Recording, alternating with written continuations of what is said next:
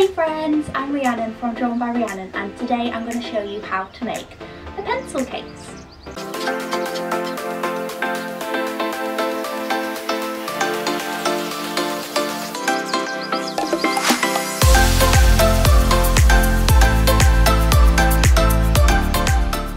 So if you're quite new to sewing and you've maybe not sewn a zip yet, you might be really worried about sewing them some of them are tricky, I'll give you that, but there are so many different ways to put in a zip and today I'm going to show you the easiest way to put in a zip that you can use for all sorts of different size zip pouches. So it's a really handy skill to have and honestly it's much easier than you think it might be. So I'm going to show you step by step how to do the zip and how to make everything else so that you can make your very own pencil case. So to make your pencil case you just need some really simple supplies. So first of all you need some lovely printed fabric or a plain one if you just want a simple plain pencil case and then you're also going to need a lining piece of material that is the same size as your outside material. You're also obviously going to need a sewing machine and ideally one with a zipper foot. You can put a zip in with a regular foot but it is a lot easier with a zipper foot. So if your sewing machine didn't come with one, I would recommend buying one. They're not a lot of money and honestly they're going to make zips so much easier to put in. I would also recommend having a pair of embroidery scissors. These are really good for cutting thread, gives it a nice sharp cut on the thread. And then also just a regular pair of scissors which we're going to use to trim the zip down. So these don't need to be anything fancy.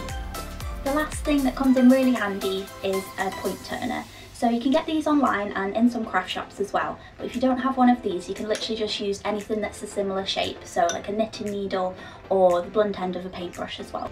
It's also good to have an iron and an ironing board handy because once you've finished your pencil case, if you just give it a quick run over with the iron, it'll give it a really nice crisp finish and make it look even more lovely. So now that we've got all our tools, let's get started. Start with your main fabric. The size that I've got is about 23 and a half by 25 centimetres and that makes a pencil case, the finished size is 21 by 11 centimetres, about that. So you want your main fabric and your lining fabric to be the same size. So to begin with, you want your main fabric facing upwards so you can see the right side of the fabric. Then take your zip and put the teeth side down onto the right side of your main fabric. Then I just put one pin in just to hold the zip. And then you want to get the right side of your lining fabric and lay that on top and then just pin all along the top to hold them all together in a little sandwich. If you put your pins in perpendicular to the fabric then that means that you can sew straight over them whereas if you put them sort of in the same direction of the fabric you're going to have to take out each pin as your sewing machine won't be able to sew over them. So I would recommend at this point putting on your zipper foot, it's just going to make it so much easier to put your zip in and you want to have the edge of the zipper foot right up against the side of the zip. Then we're just going to sew along the first line and you want to just make sure that your zipper foot is staying butted up against the edge of the zip. You should be able to feel it as you're going over. So once you've got your first seam, what we're going to do is take the pins out and turn it the right way around so that your main fabric is looking up at you. So what we're going to do now is just top stitch along the top of this fabric. So there's two reasons for doing this. One, it gives it a really nice finish, makes it look more professional, and secondly, it helps to stop the lining fabric getting caught in the zip. So this is a really important step to do. So again, I would just put a little pin in just to make sure the fabric stays put while we're stitching. And then again, lining your zip foot up against the side of the zip, just do a quick little top stitch along the top of your fabric.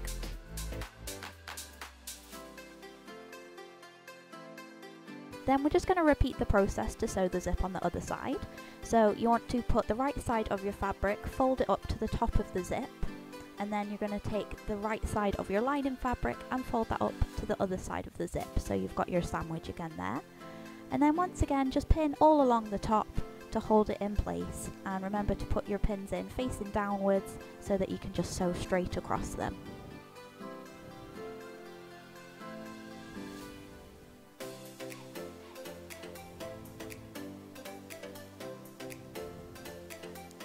Again, just make sure your zipper foot is lined up against the side of the zip so you can feel it as you're going along and that will make sure that you have a nice straight stitch that's nice and even as you're going along. Then take your pins out and again take it over to the right side of the fabric so that we can top stitch along that edge just like we did before. So just make sure it's all nice and lined up, put your pin in just to secure it and then stitch along the top.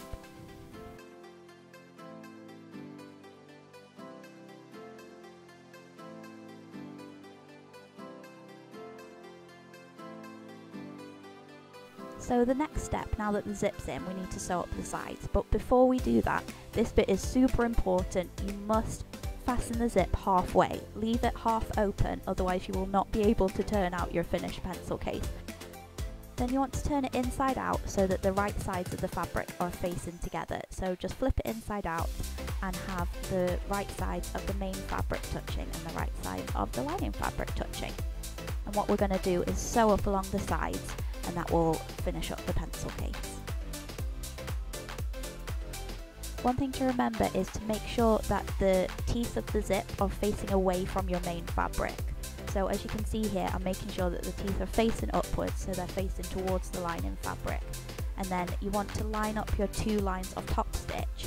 So that means that when the pencil case is turned out, you'll have a nice matched up top stitch on both sides. And again, just doing the same, make sure that the teeth are facing away from the main fabric so they're tucked into the lining fabric. This is really important because otherwise when you turn it the right way out, the zip's going to be all backwards at the edges of the seam. So this will just make sure you get a nice finish. So then just pin along the sides. Remember to face the pins perpendicular from the way that you're going to be sewing so that you can sew straight over them. And we are going to sew down the lines of the fabric here.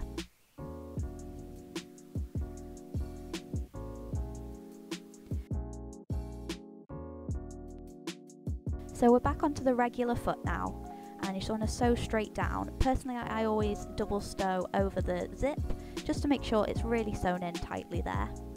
And then the same on the other side but remember to leave about a 2 inch gap just at the bottom of the lining fabric on the second side because this is where we are going to turn out the pencil case. So if you sew it all the way up we're not going to be able to turn it the right way around so you have to remember to leave that little gap for turning there just make sure you do a bit of back stitch just by that turning because it's going to take a lot of pressure there so we need to make sure it's nice and strong. Take out all your pins and then just give your zip a trim so that it's in line with the fabric edge. And then using that opening that we've just left, we're going to turn it inside out. So this can be a little bit fiddly, especially if you've left the hole not quite big enough, but with a bit of wiggling it'll get there. Then you might just need to unzip the zip a bit more so that you've got a bit more room to pull the fabric through.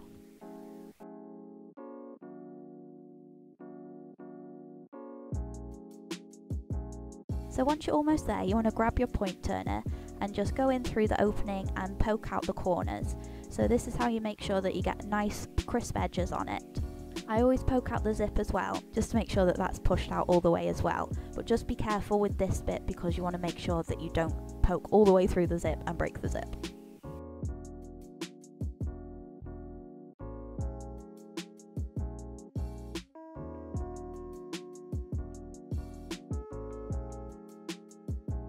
You just want to turn the edges under so you've got no raw edges showing. Pin those together and then we're just going to do a little stitch over the top. So this is where you need to be really nice and careful because you will see this stitch. So make sure it's nice and neat and obviously in the same colour as your lining fabric so that it's not too noticeable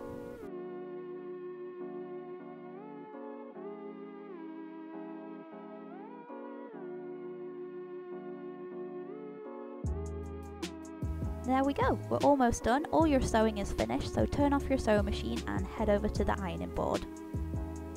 So to give it a nice crisp finish, I always just run over it with an iron. So this is just going to give your corners a really nice crisp point and it's also going to make the zip lie nice and flat. Just be careful to obviously not hold the iron over the zip for too long, otherwise it might melt it. And then once we've done that, we can turn the lining inside out to make it fit inside the main fabric and you're done.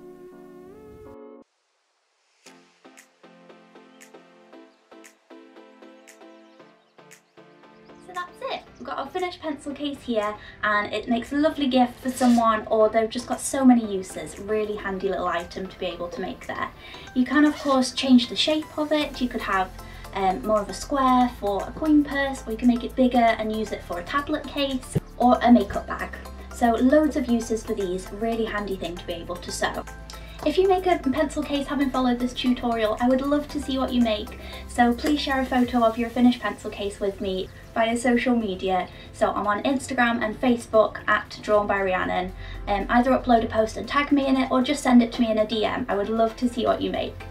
If after watching this video you're like, nah, it's not for me, I just want to buy a ready-made pencil case, then check out the link in the description for my full range of pencil cases. Obviously all the fabrics I designed are exclusive to me, so if you want in a pencil case with one of my fabrics, you need to buy it off my website. I hope you enjoyed this video, please give it a like if you do and subscribe to the channel for more videos coming very soon.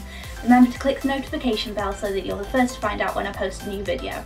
I hope you're having a wonderful day and I'll see you in the next video. Bye!